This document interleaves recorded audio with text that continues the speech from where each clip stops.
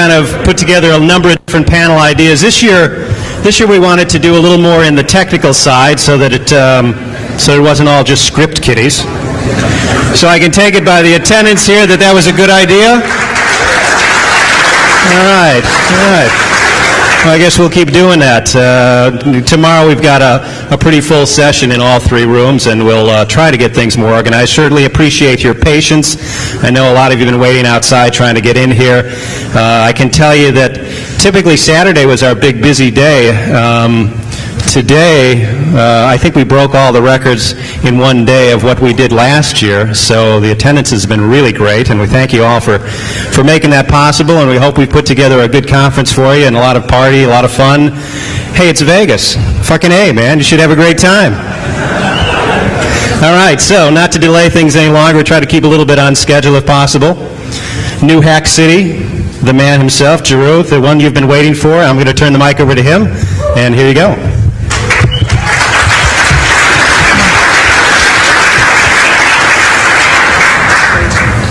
My name is Jeru. I'm going to talk about advanced evasion of uh, IDS buffer flow detection. this came about on a discussion on um, Pound CDC. I was talking with uh, T12 and Java Man about the way that IDSs are looking for strings and buffer overflows. Can you hit the slide? This is a, a little background on me. I worked in embedded systems. I'm doing um, working on IDSs right now. Uh, I've been I'm a part of a New Hack City, a collective in San Francisco, working on a couple different projects, and of course we have T-shirts available.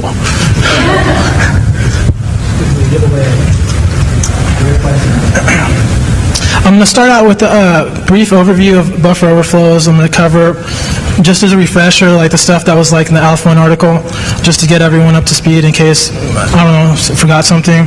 Then I'm also going to go over like the kinds of signatures that IDSs are looking for, and then the techniques to code around the signatures so that you can um, bypass the IDS, get your attack through, and no one will notice. You hit the next one.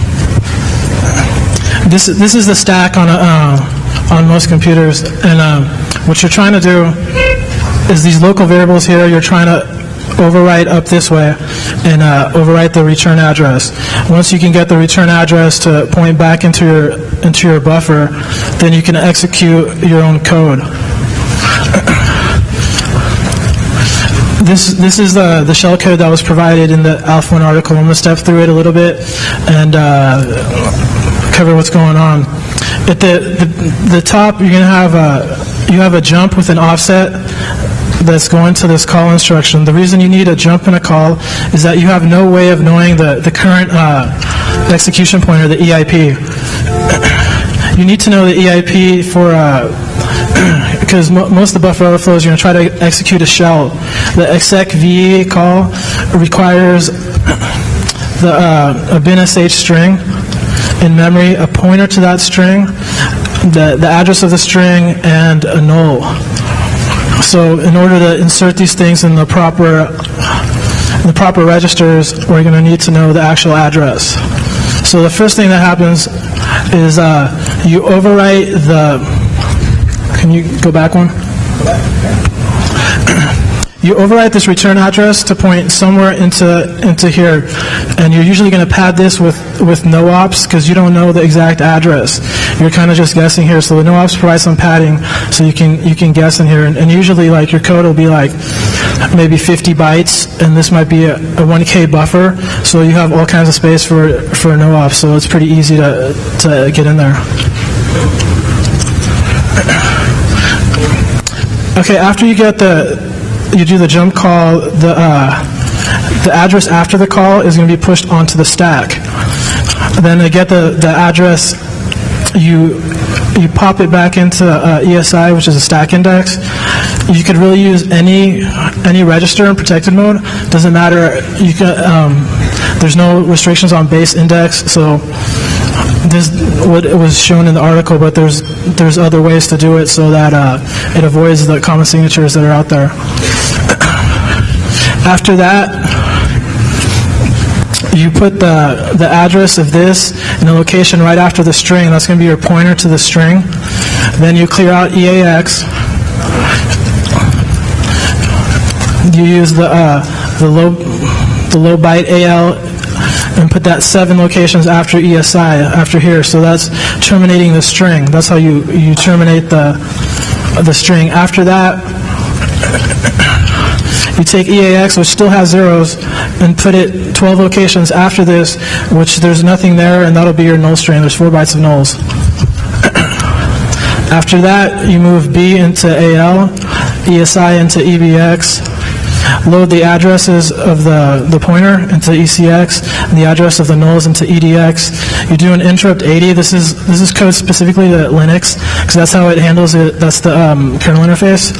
So this does the execve call. This call right here is uh, exit. In case anything goes wrong here, you can exit out, and you won't keep pulling stuff off the stack. but that's just a basic overview. Here's some signatures from Snort. This is what, what it's looking for over the wire. This is like, uh, this is a common overflow. This is uh, 2.4.2 FTP written by ADM.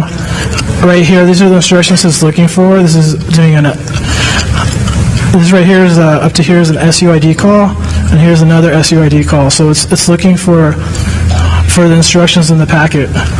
Similar to here, this is, I believe, a jump. And here's one of the most common ones. Just looking for long strings of no ops usually means that someone's trying to overflow a buffer because they're using those for padding. And we'll show how to go around that. And this right here, lots of people use the slash bin sh to execute a shell, so people are looking for this too.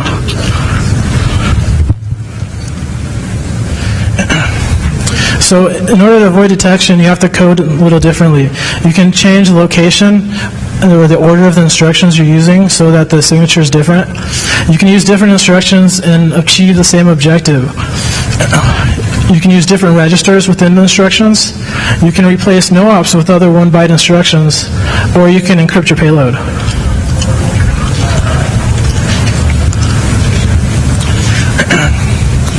This, this code is copied from the, the code I showed earlier.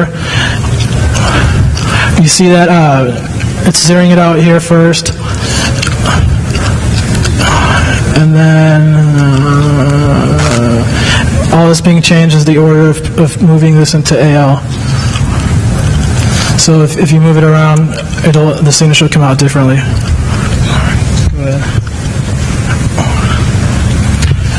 Different instructions for same objective. Instead of doing a like this type of call with a, um, a, static offset, you can zero register, move that into the register, and call the register, and this will produce a different signature than the original one.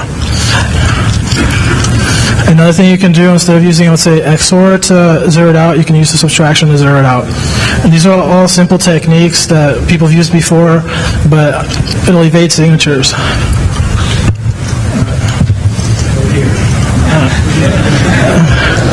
Well, um, that, that, go ahead and go back. The, the idea here is like at the top of the, the buffer overflow, there was a, a, a pop ESI. You could pop, let's say, EBX, and then the address of the string is already located in EBX, which you'd use for later. So it's actually optimizing the code, and it changes it around a little bit. Protected mode doesn't matter what registers you use with certain limitations. You can't push into EIP and stuff like that. But most of the general purpose registers, you can do anything you want with.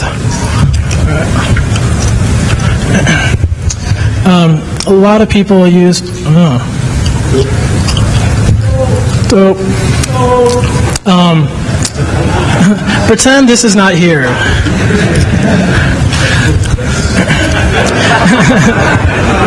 The, The, the idea behind the no-ops is you're trying to provide some kind of padding to be able to jump into your exploit because you don't know exactly where it's at. So no-ops are used because they don't do anything. But you can use other instructions that are also one byte long that will not affect the outcome of your exploit. You could use like CLC, clear the cleary flag, or set the cleary flag, or set the direction flag, clear the direction flag. There's all kinds of one byte instructions you can use. Will not affect your exploit in any way, but it'll avoid the signature that's looking for all no-ops. Yeah, that's, I'm covering that next. the types encryption are really simple. All we're trying to do is avoid the, the known signature. We're not, we don't have a lot of space, so the first tile would be like some kind of ROT13ish, just add a constant offset or subtract a constant offset. The second one would be an XOR with a constant. And the last one would be an XOR with a variable where you your XOR is based on the, the outcome of your previous instruction. It'll provide a little bit more protection. um, self-modifying code, there's been a, like IMAP exploit, you had to add a, a 50 byte offset to the bin SH to get it through. There's filters, sometimes HTTP filters won't allow certain characters through, so people used self-modifying code. And uh, someone pointed out this week, uh, someone on this site right here wrote uh, some encrypted shellcode that would encrypt just the bin SH string at the end. But um, the, the rest of the payload is still detectable by, by signatures. this is the architecture that I chose. The, this is the decryption block, and this is an encrypted payload. so the decryption block is up here. First you start with a jump, and then you have a call. On your stack, you'll have the first address of the encrypted instructions. Then in, in here you start reading in the data, either adding constant offset or doing an XOR with a constant and writing data back out. Once this drops through and this down, you jump into the first instruction of your payload and execute your exploit.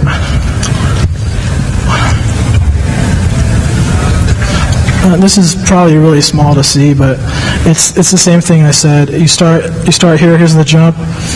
It goes to the call. This is the this code right here is not encrypted for demonstration purposes, so you, wouldn't be able to see what it was. And then you go back up, start decrypting, go through the loop, drop down, jump into the instructions. It's, it's pretty simple. Um, I have uh, I had a couple demos working uh, working exploits have been converted to this, but we don't have the, the setup to, to have a live demo. Well, I'm going to release the paper um, probably within a week. I had Spark code written, but it was, it's not fully tested and needs a little more work. So either I'm going to release a paper in about a week with the x86 code, or maybe two weeks and have both x86 and Spark code examples.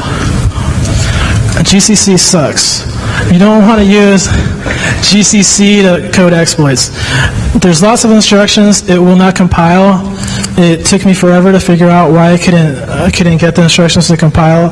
The the assembler GCC uses is called GAST, and uh, it, they chose not to implement any instructions that have 8-bit offsets.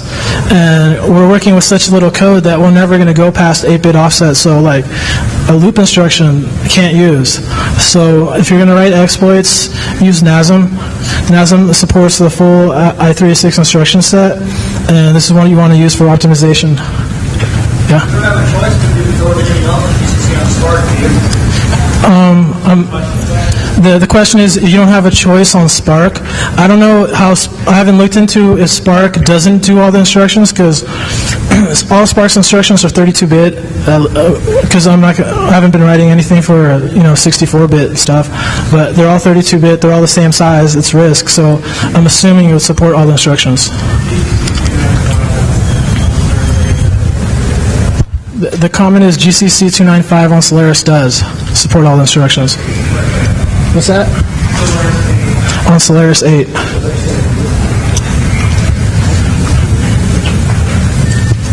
Ah. And um, that's that's it. Is there any questions? Yeah. Um, how, how is this different from like the stuff that's being used to virus scanners? It, it's it's The, the question is, how is this different from uh, techniques virus writers use to evade detection? Like a portable execution compressor. I mean, I'm not saying that these are, are new techniques. I'm just saying these are these are things available that you can do to avoid detection. Yeah.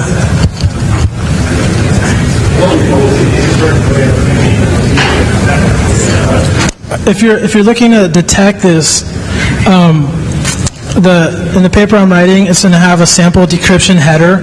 So the best way probably would be to look at the, the header, get a signature for the header, and look at that. But if anyone's writing an exploit and wants to go around detection, you just write your own decryption header and uh, go around anything you want to. Any other questions?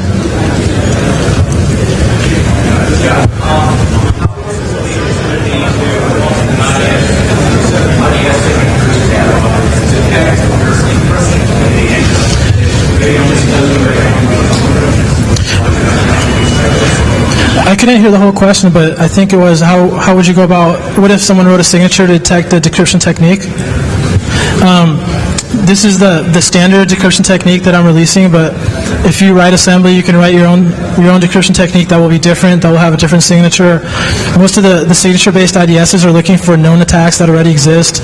The, they have problems finding new attacks. And what they try to use for new attacks is look for strings of no-ops, look for slash bin SHs, and these little tricks to, to try to to try to look for new attacks, but you can go around them. Any more questions?